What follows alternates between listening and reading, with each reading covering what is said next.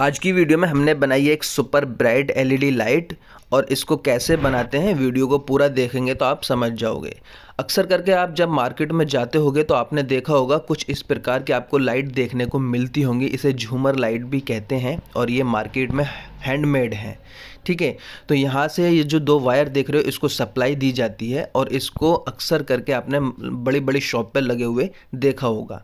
अभी जो आप देख रहे हो, ये पूरे तरीके से ख़राब हो गई है और इसकी हम पूरे अच्छे से वायरिंग करने वाले हैं और नई प्लेट लगाने वाले हैं। ये जो आप मेरे हाथ में देख रहे हो, इसको अल्फ़ा डोप कहते हैं और डोप का मतलब होता है डायरेक्ट ऑन बोर्ड। इसमें किसी भी सर्किट की ज़रूरत नहीं होती है। ये जो पीछे इसमें लॉक दिए हुए हैं, इसमें सिर्फ़ दो वायर लगा दीजिए आप। आपकी जो लाइट है वो चालू हो जाएगी। तो हमने सभी लॉक को हटा दिया है और लॉक की जगह पे दो शोल्डिंग कर दिए हैं वायर को। और इस तरीके से टोटल 22 पीस को हमने तैयार कर लिया है। अगर आप घर पर लाइट बनाते हो तो सेम इसी तरीके से बनाना जैसा कि वीडियो में दिखाया गया है। और कनेक्शन मैंने इतने अच्छे से समझाने की कोशिश करी है कि अगर आप एक बार पूरे वीडियो देख लेते हो तो मैं हंड्रेड परसेंट यकीन के साथ कह सकता हूँ कि आप अपने घर पर लाइट बना लोगे। तो अभी हमें क्या करना है कि लाइट बनाने के लिए इसकी जो ये पीछे की वायरिंग है इसको कट करना होगा या निकालना होगा तो आप इसको अपनी मर्ज़ी अपनी चीज़ जैसी भी आपकी ज़रूरत हो, उसके हिसाब से इसके जो ये वायर है, इसको काट के और बाहर निकाल देना है। तो फाइनली हमने वायरिंग की कटिंग कर ली है और इसके जो जितने भी ये पीस हैं वन बाय वन करके इसके नट को खोलना है और सारे पीस इसको एक एक करके बाहर निकाल लेना है। अगर आप इस तरह की वीडियो देखना चाहते हो या सीखना चाहते हो तो हमारे पेज से जुड़ जाइएगा और यहाँ देखिएगा कि हमने फाइनली इसको एकदम सारे पीस रिमूव कर दिए हैं। अब जो हमने पीस तैयार करे थे वो एक एक करके यहाँ पर लगा देना है। तो अब एक चीज़ की कंडीशन मैं आपको यहाँ बता दूँ कि जब आप वायरिंग करें तो हमेशा इसमें रेड और ब्लैक कलर का वायर इस्तेमाल करें कनेक्शन आसानी से समझने के लिए।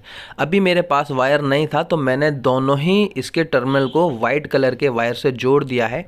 तो इसमें आपको सावधानी ये बरतनी है कि इसके सबसे पहले एक एक वायर को छील लेना है और उसके कनेक्शन पहले करने। तो यहाँ देखिए हमने पूरी प्लेट पे अच्छे से डोप को लगा दिया है और इसके वायरिंग को यहाँ से सप्लाई दी जाएगी। तो अभी हम क्या करते हैं कि जितने भी ये दो दो वायर निकल के आ रहे हैं हर एक प्लेट से उसमें से एक एक वायर को हम ले लेंगे और उसके सबसे पहले एक वायर के कनेक्शन को हम करेंगे। तो यहाँ देखिए, मैंने एक वायर का कनेक्शन कर दिया है। अब आते हैं हम दूसरे वायर के कनेक्शन पे। तो सभी डोब के दूसरे जो वायर था, उसको एक जगह इकट्ठा कर देंगे। तो कुछ इस तरीके से कनेक्शन करने हैं। वैसे जब आप बनाओगे तो आप अपने हिसाब से भी इसके कनेक्शन कर सकते हो, लेकिन कनेक्शन ऐसे ही होंगे। ये कनेक्शन जो हमने करे हैं 22 पीस के, इसको हमने पैरेलल में कराए सीरीज़ में नहीं कराए। तो अगर एक पीस भी इसमें ख़राब हो जाएगा तो पूरी लाइट बंद नहीं होगी, बाकी की लाइट जलती रहेंगी और वो अच्छे से काम करेंगी।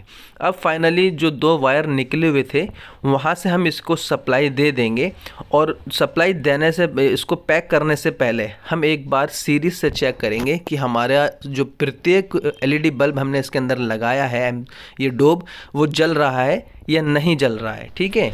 तो जैसा कि हम चेक कर रहे हैं, हमारे सारे बल्ब इसके अंदर अच्छे से ग्लो कर रहे हैं। अब फाइनली हम इसको पैक कर देते हैं और यहाँ पर देखिए, ये तैयार है वर्क करने के लिए और हमने इसको अच्छे से पैकिंग कर दी है। अब मैं इसकी डोब को जला के दिखाता हूँ।